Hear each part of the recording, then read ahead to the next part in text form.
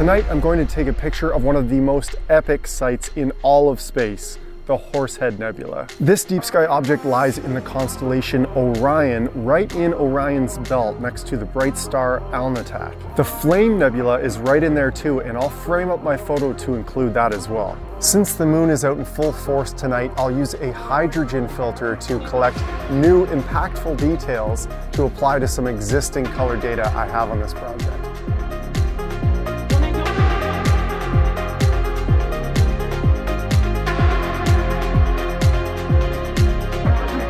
I'm pretty sure I take a new picture of the Horsehead Nebula every year and it always happens around that week between Christmas and New Year's. It's a tough time of year for astrophotography around these parts. When you do get a small window of opportunity, you need to seize the moment. The Horsehead Nebula itself is a region of opaque dark dust that sits in front of a vivid bright red emission nebula and it really does look like a horse's head.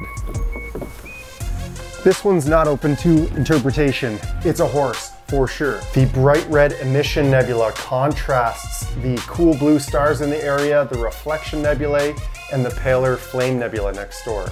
This mix of colors in dynamic objects make the Horsehead Nebula one of the most photographed regions in the night sky.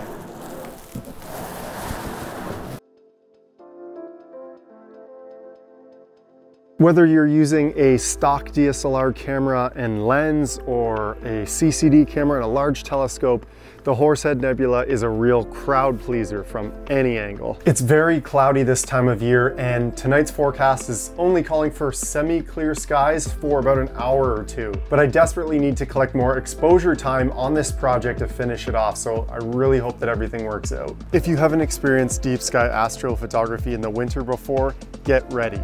For the first time in 10 years, I have a place to store my equipment under the stars year round. The Black Dog Observatory is always ready for action, even if I only get an hour of clear sky time. This means that I don't need to spend an hour setting up my big mount and telescope, and best of all, tear it all down later in the middle of the night or the morning after in the cold. I still set up other rigs outside of the observatory here in the yard, and that process isn't so bad. I kind of enjoy it. In the summer, but in the winter when the temperature drops below zero, things can become a little painful. My primary imaging telescope, camera, and mount live in the observatory, but everything else is in here in my garage and it's getting a little out of hand. I dream of having a big, clean, organized garage with a spot for all of my Astro stuff. Maybe a spot for filming or processing photos. But currently this 1.5 car garage is full of lawnmowers, gardening tools, and patio furniture. What do you guys do to keep your garage clean with all your Astro stuff? Does it look like this?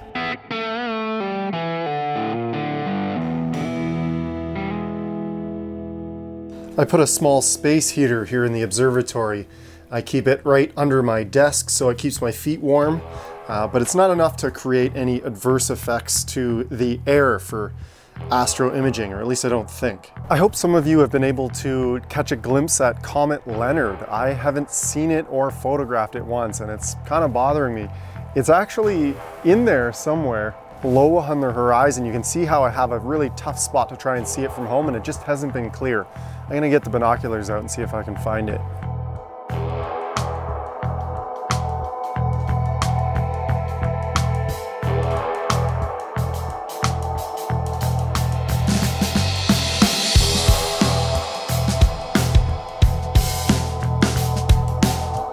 I never did find the comet. I really wanted to. Oh, and it has a crazy tail now. Perfect. This video was sponsored by Cuts Clothing, a company founded in 2016. They just recently celebrated their five-year anniversary. So their big thing is they focus on the cut of the shirt, whether that's the bottom, the split hem, or curved, elongated, or the collar, the V-neck, or it called? Crew V-neck Henley. Now you know. They created their own tri-blend fabric called PYCA Pro, which is just so soft and smooth and has a little bit of stretchiness to it. It's all I wear now. My closet is officially full. That's a great thing because I really didn't have style until now. I would like to think I have style. I don't know. The bottom line is Cut supports Astro Backyard. They believe in me enough to put their clothes on me through all these videos. So hopefully you've found something in their store that you like. And if not, you can just enjoy watching me wear their stuff for the foreseeable future. So thank you so much to Cuts for sponsoring me this year and all the best for 2022.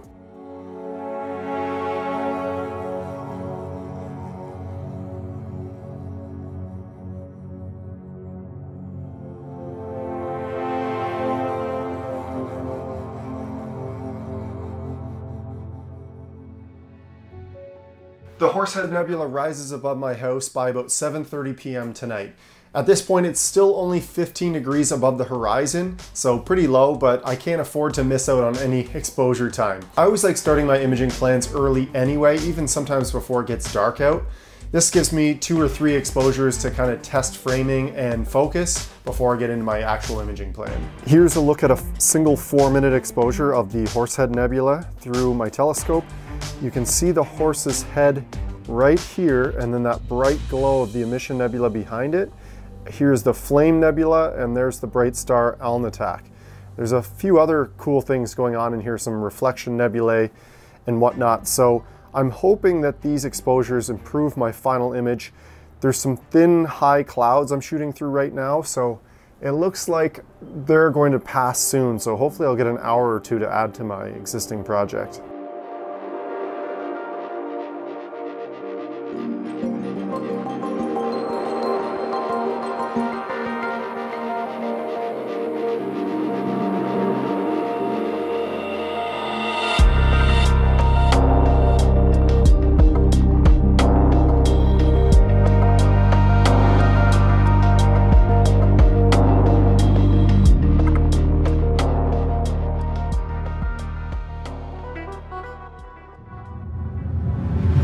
In the office now and I'm reviewing my sub-exposures captured that night of the Horsehead Nebula. And I was able to grab a few extra H-alpha frames to add to my overall Horsehead Nebula project.